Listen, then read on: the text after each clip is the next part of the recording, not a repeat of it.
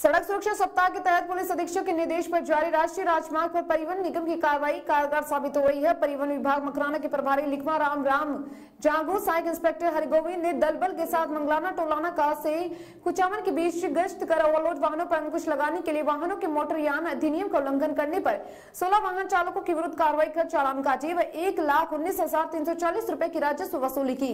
अपने विभाग में ईमानदारी और सजग अधिकारी के रूप में पहचान रखने वाले परिवहन अधिकारी प्रभारी लिखमा राम चांगू ने राष्ट्रीय राजमार्गों पर होने वाली दुर्घटनाओं को रोकने व यातायात व्यवस्था बनाए रखने के लिए वाहन चालकों को ट्रैफ़िक नियमों का पालन करने के लिए जागरूक किया।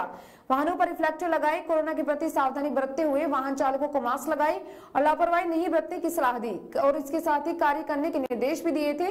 इससे यहाँ अवैध वाहनों पर अंकुश लग रहा है तथा ओवरलोड वाहनों में भी कमी आई है। उन्होंने बताया की सोमवार को परिवहन विभाग की टीम की ओर से अवैध वाहनों के विरुद्ध कार्रवाई करते हुए सोलह चालान काटे गए और लगभग एक लाख बीस हज़ार की राजस्व वसूली की गई है। उन्होंने बताया कि टीम की ओर से वाहन चालकों को यातायात नियमों की जानकारी दी जा रही है। उल्लंघन करने पर उनके विरुद्ध चालान काटे व वाहनों को जब्त करने की कार्रवाई भी की जा रही है। उन्होंने बताया कि यातायात नियमों के अलावा सड़क सुरक्षा सप्ताह के तहत राष्ट्रीय राजमार्ग पर कहीं भी दुर्घटना होने पर हमारी टीम तत्काल मौके पर पहुंचकर वाहनों को सड़क से दूर करने और यातायात सुगम बनाने में स्थानीय पुलिस की सहयोगी बनी हुई है।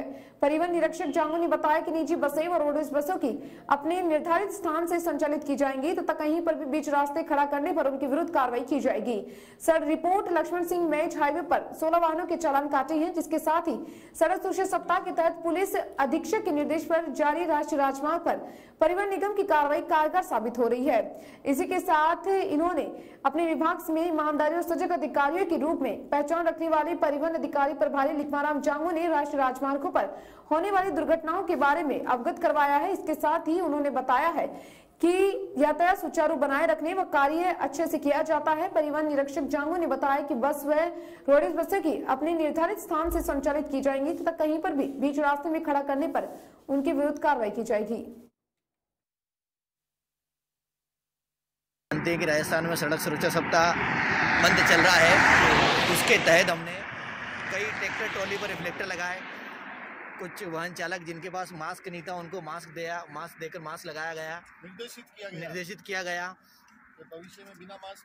ताकि भविष्य में वो बिना मास्क गाड़ी नहीं चलाए और सड़क सुरक्षा के बारे में जानकारी दी जा रही है। साथ ही सीनियर अधिकारी ने बताया राजस्व वसूली का काम भी किया जा रहा है ताकि हमारा जो नेक्स्ट फरवरी के बाद जो नेक्स्ट मंथ है मार्च में हम हमारा मैक्सिमम से मैक्सिमम टारगेट पूरा कर सकें।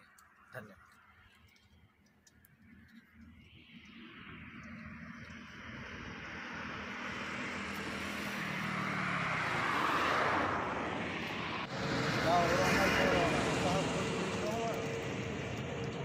भी ड्राइविंग ड्राइवरी करनी। नहीं।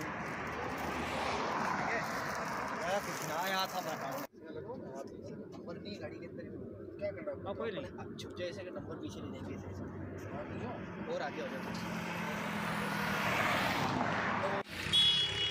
इस समय हम खड़े हैं हाईवे मंगलाना पे जहाँ आरटीओ साहब चालान काट रहे हैं। मकराना प्रभारी। मकराना प्रभारी आ- तो हम आपसे पूछेंगे आज कितने चालान हुए और किस तरह की राजस्व वसूली की गई? आज की तारीख में सड़क सुरक्षा सप्ताह के दौरान यातायात नियमों का पालन करते हुए मैं लिखमा राम जांगू परिवहन निरीक्षक प्रभारी Makrana D F S twenty two ने सोलह चालान बनाए, जिसके तहत हमने राज्य सरकार को अड़तालीस हज़ार रुपये का राजस्व कैश प्राप्त किया और कुछ गाड़ी वाहन वालों के साथ पैसे नहीं होने, उनके डॉक्यूमेंट